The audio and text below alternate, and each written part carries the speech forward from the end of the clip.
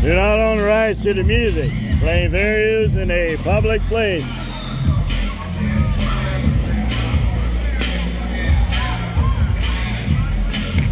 Get it, get it.